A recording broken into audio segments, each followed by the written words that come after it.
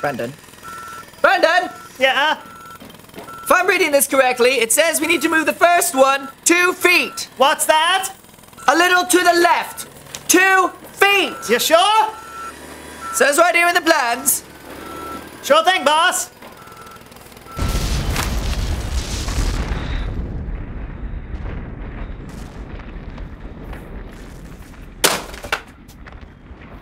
You sure you're reading that right?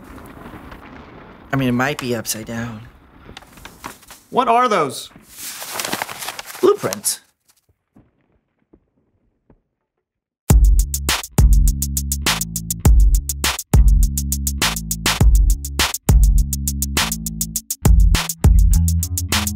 Hello, everybody. I'm Lawson. And I'm Brandon, and welcome to the So and So Show. yes. And On what a today's show- Wait, What are you- why are you talking over me? No, no, no, no. We discussed this over our pre-show cornflakes. We discuss no such thing. Oh, of course. See, you never listen to me. You hear me, That is but not you true. don't listen. I do Brandon. listen. Oh, do you? How would you ever know to listen when you're too busy being on your phone the entire time? I was looking at the intro to the show, which apparently you Oh. won't let me Oh, do. Okay. You have to keep Was the intro to the show a video of a ferret doing the conga line on loop? It helps me focus. Your team in a funk? Yes. Feel like you aren't able to communicate? Yes. Then today's your lucky day. Hi, I'm Tanya, team motivator and influencer. Sometimes it can feel like your team is all over the place. Here, here, here, here. But with my proven team building exercises, I can take your team from here to here before it gets to here. So call Teams by Tanya today. Today.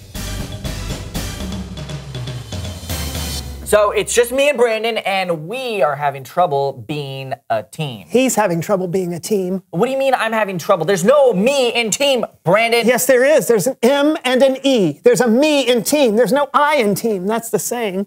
Gentlemen, it seems we're having trouble communicating. Yes. Brandon, turn towards Lawson. Lawson, turn towards Brandon. Now close your eyes.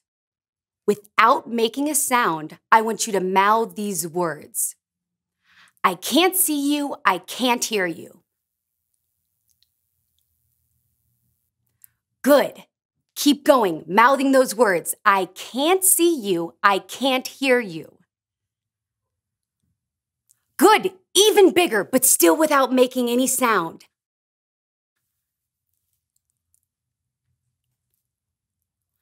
Good. Good. Yes. Bigger. Bigger. Good. I can't see you. I can't hear you. Now stop. Hmm. Open your eyes. Look at each other. Good. Now close your eyes again. Okay. I want you to slowly open your eyes. Very small. Barely open your eyes. Whisper these words, Brandon, to Lawson. I see you and I hear you. I see you and I hear you. Even quieter. I see you and I hear you.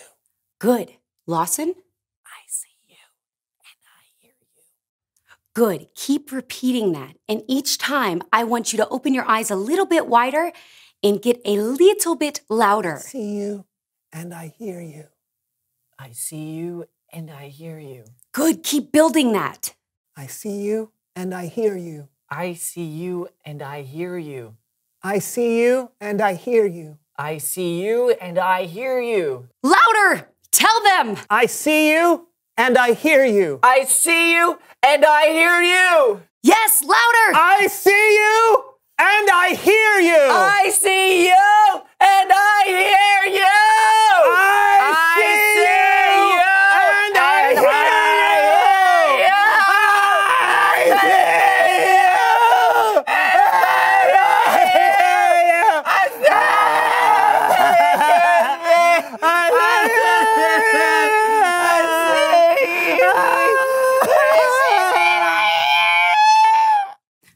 My work here is done. Now it's Bible story time with Kellen.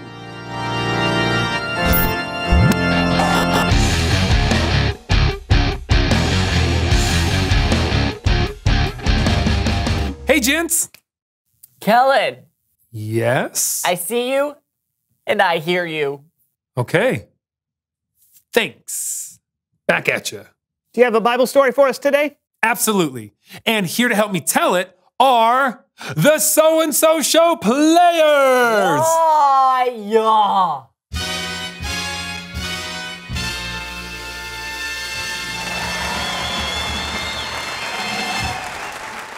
Today's story comes from the book of 1 Samuel, chapter 25. There was a man named Nabal. Nabal was known to be rude and mean, and he was married to Abigail, who was wise and clever. But we'll get to her in a minute. Now, Nabal was very wealthy. He had 1,000 goats and 3,000 sheep. And it was time for Nabal to shear his sheep and sell the wool. There's another character in today's story. His name is David. You might remember David as the shepherd boy who slayed a giant and then became king. This is that same David. But in our story, he hasn't become king yet. David was staying with his men in the desert when he heard that Nabal was shearing his sheep. Frances! Yes, David.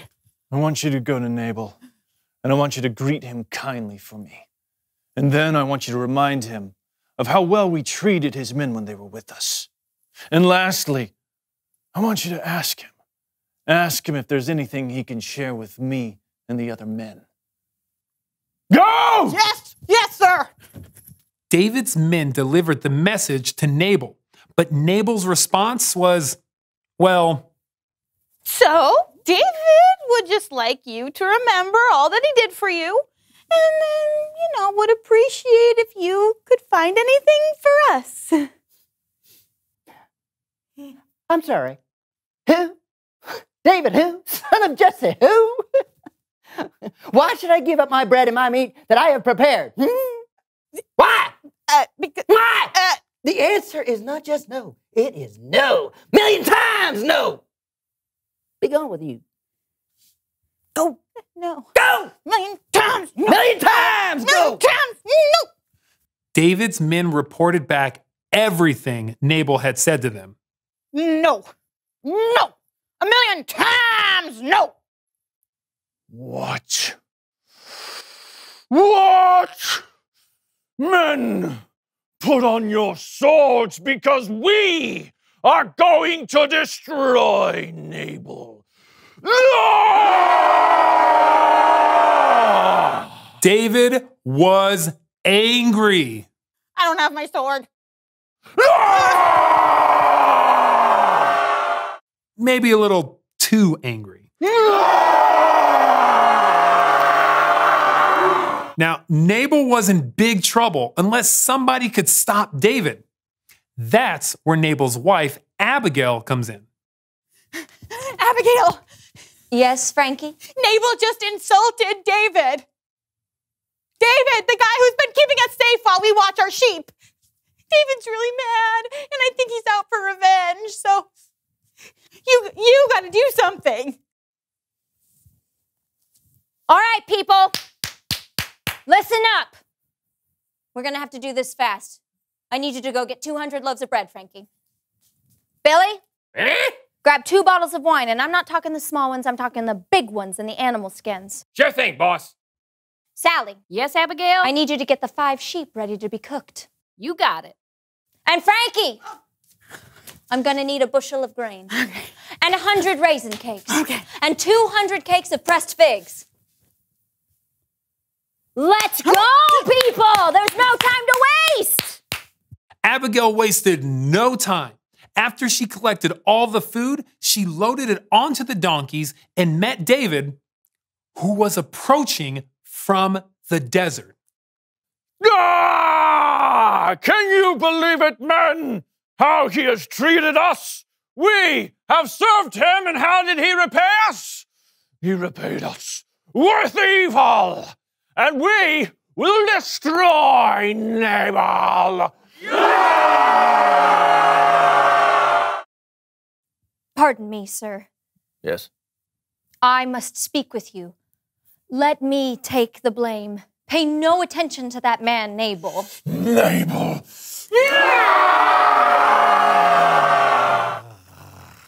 He's really not worth getting that worked up over. Who? Nabal. No. No. Eyes, right here. His name means What? his name means fool. yes. he does many foolish things. Oh, yeah. Yes. Oh, Nabal. So you don't need to kill Nabal, do you? No. No. No.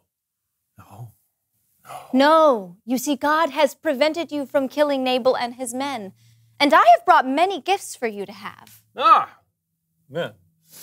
So you have. It's very kind.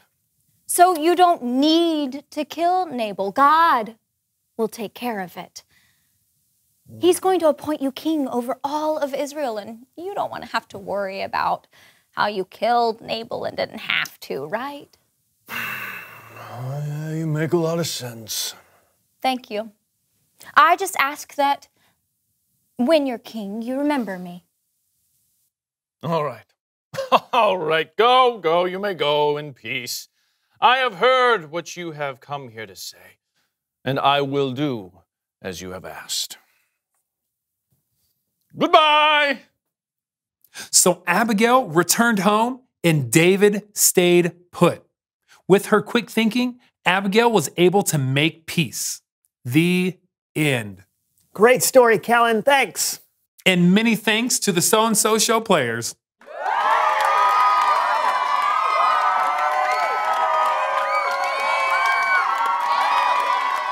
Okay, okay, th- that wasn't terrible. Yeah, Abigail was incredible. Uh, to be able to soften a situation like that took a lot of courage from mm-hmm. Abigail. Yeah, David was so angry he could kill. But God used Abigail.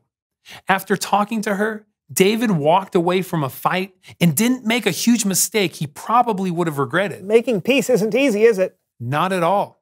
Sometimes people think the person trying to make peace is weak because it looks like they don't want to fight or argue. But being a peacemaker is incredibly hard and it usually takes a lot of work. And a lot of raisin cakes. Oh, you know it. Great story.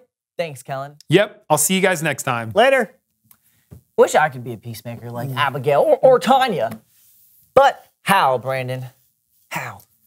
I don't know. But let's find out. Reveal the question. What are ways you can be a peacemaker? Uh, maybe you can be a peacemaker with two of your friends. Or within your family, or maybe a sports team. Or maybe you can be a peacemaker by saying you're sorry. Lawson, I'm, I'm sorry that I get angry at you sometimes. You're a great friend. Thanks, buddy. I'm, I'm sorry too. I don't think either of us were peacemakers today. Yeah. Until now, high five! Yeah. That was close enough. All right, that was we'll close enough. yeah. There are lots of ways you can be a peacemaker. Talk about it with each other, and we'll see you next time on the So and So Show. I can't see you. Good. Oh, I can't hear you! What did you say, Brandon? I can't see you. Tanya! I, I can't see. Are my hands still over my ears? I can't see you. Why are my eyes closed? I can't see you. I I can't, can't hear hear you. you! I can't see you! I need water! I need a nap. Good. I need water! Good. This I is need a nap. building. I can't see the point. Why? Good work, Tanya. Yeah, Yeah. I, I do that.